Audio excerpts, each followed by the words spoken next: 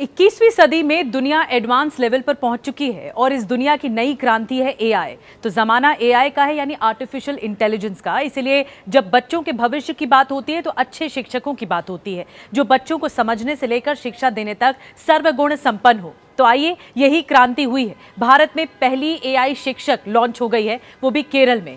और आपको बता दें, ये जो तस्वीरें आप देख रहे हैं, इस टीचर को जो आप देख रहे हैं, इसने लाल, नीली साड़ी पहनी हुई है और इनका नाम आयरिस है। बिल्कुल रियल शिक्षक के तौर पर ये लग रही हैं। बच्चों से हाथ मिला रही हैं, बच्चों को पढ़ा रही हैं।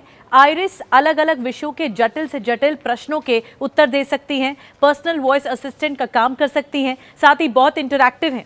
ये एआई टीचर एक रोबोट है जो घूम सकती है, बातचीत कर सकती है, बच्चे सवाल पूछेंगे तो जवाब दे सकती है, बारहवीं तक के सभी विषयों को पढ़ा सकती है ये एआई टीचर तीन भाषाओं की जानकारी इन टीचर के पास है, अंग्रेज़ी, हिंदी और मलयालम। ये जानती है रोबोट गलत कंटेंट को ब्लॉक करने की क्षमता भी एआई टीचर में है, बीस से ज़्यादा भाषा डेवलप करने की तैयारी भी अब चल रही है। एक बड़े परिवर्तन की ओर केरल आगे बढ़ रहा है, जिसके ज़रिए देश के एजुकेशन सिस्टम में उदाहरण पेश होगा।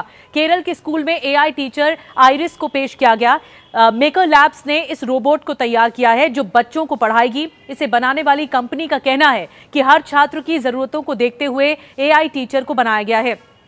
मंच से एआई टीचर ने भाषण भी दिया। छात्रों के पास जाकर उन्होंने मुलाकात की, हाथ मिलाया छात्रों से। एआई टीचर बनाने वाली कंपनी ने दरअसल ये दावा किया है कि शिक्षा के क्षेत्र में ये सभी सीमाओं को तोड़ेगा और नई क्रांति आएगी। ये इनोवेशन कैपेसिटी को बढ़ाएगा। हायर सेकेंडरी स्कूल में से लॉन्च किया गया। एक चैरिटेबल ट्रस्ट ये चलाता है। Iris robot Atal tinkering lab परियोजना का हिस्सा भी है, जो 2000 इक्कीस नीति आयोग को आ, की पहल के मुताबिक आगे बढ़ा है। इसे स्कूलों में पढ़ाई से लेकर एक्स्ट्रा करिकुलर एक्टिविटी को बढ़ावा देने के लिए इस्तेमाल किया जाएगा।